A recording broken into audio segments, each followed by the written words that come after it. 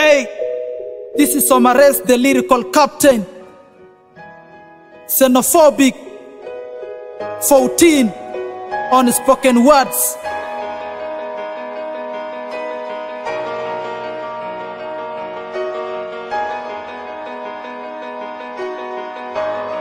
Shackness Production.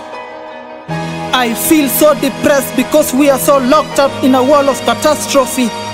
We are in a situation where pain and sorrow is the order of the day. Every now and then we are hearing families grieving for losing their beloved ones. Today it can be a friend losing a brother or a sister. Tomorrow it can be a parent losing their children due to the unnecessary killing. And this killing is not being done by a beast. It is us who are killing our people. Instead of embracing peace, we are inflicting fear. Instead of avoiding war, we are inviting it as if it is beneficial. Revenge will not change what has happened. Ati, an eye for an eye, tooth for a tooth. Make up your mind and let's eradicate this catastrophe. Ask yourself, why am I not enjoying the peace of my country? Why are we lacking stability in our countries? We will have a peaceful country when you and I embrace peace.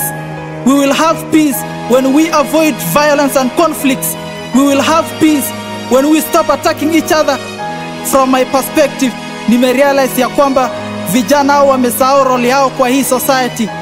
Kama umekanyaga mtu, swallow your pride and apologize. Hatutasema wewe ni mwoga, hatutasema wewe ni mnyonge. It is because we need to be in peace. Wewe pia, if somebody apologize to you, don't take advantage of thinking that ati amekuogopa.